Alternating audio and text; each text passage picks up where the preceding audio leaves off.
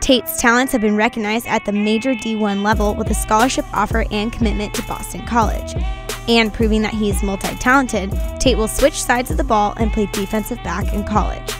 After 10 games of his senior season, he has thrown for well over 1,200 yards, completing 60% of his passes and running for another 400 plus.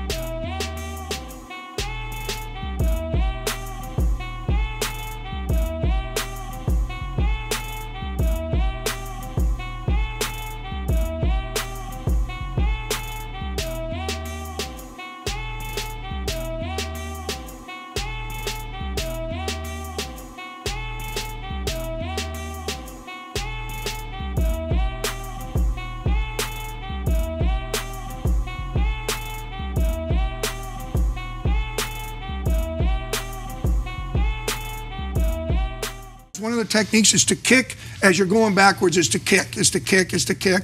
Watch him because I think he does a great job kicking two times here, and he's going to get his own, create his own separation. Pause. So, so he just kicked, kicked, kicked. He sets his feet, good balance, and within setting his feet, he's ready to throw the ball. He's loaded it correctly right here. He's balanced, and the, this ball, I really like this ball because he's going to throw it on a line between two defenders. And again, this is a big time throw. Watch this ball on a line in between two, two Welcome, defenders. welcome back to the Prep Pigskin Report, the playoff edition. Let's meet Silver Pigskin finalist number three, Cathedral Catholic quarterback Tate Haynes. Tate, uh, how does it? uh, It has a nice ring to it. Silver Pigskin finalist, does it not? It does, yeah. All right, we chatted on Tuesday. The call went something like this. Take a listen. You're on camera right now. Can you see that? Yeah. What's going on? Uh, how does it feel to be a 2016 Silver Pigskin finalist? Oh my gosh. That is crazy. That is such a nice surprise. Wow.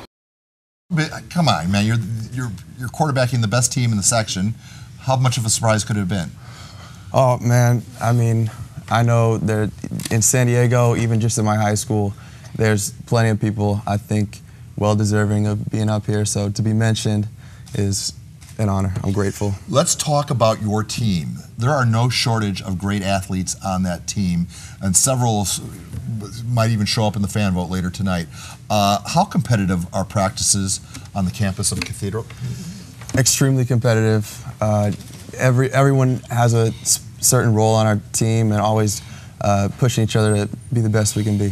Through the quirk of the power rankings, you are arguably the best team in the county, and you get to open your your treat for being the best team is you open against Torrey Pines. Not only are our rival, they're playing some great football right now. Boy, that was uh, so much as, as far as easing into the playoffs, huh?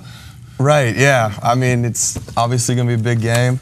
We're all uh, psyched up for uh, playing those guys. Yeah, uh, everyone, you know, your, your dad's name always comes up in these conversations because he's an NFL Hall of Famer, but you have something, potentially could have something he'll never have. This prestigious silver pigskin. Uh, that would be something special. That'll, that'll be great. Uh, all right, uh, so uh, we hope you're. Uh, we're we're going to see you on December 6th. We'll be seeing you all throughout the playoffs. Uh, Tate Haynes, everybody.